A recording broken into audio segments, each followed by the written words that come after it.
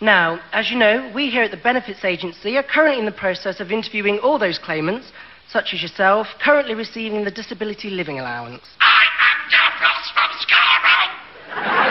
Oh, I do love the Greek islands. Have you ever been to Lesbos? What are you implying? No, my home is the seventh planet in the third galaxy. Right. Now, I see down here you've put in a request for home help for light dusting, the weekly shopping, and exterminating all life in the universe. now, this despite the fact that, according to our records, you're already helped in your day to day living by an army of Daleks. Oh, I don't know what you're talking about. Mr. Davros, the Benefits Agency isn't stupid. I can see the Daleks out of the window. Oh, all right, all right. I told them to stay in the van. In fact, we've got reason to believe you also have an independent source of income.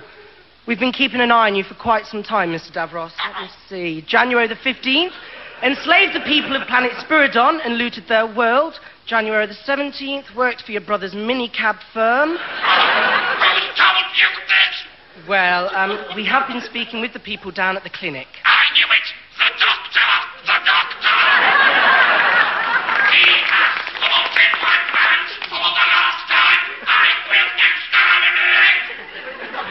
If you do have a complaint, you and your Daleks are welcome to go to the appeals office.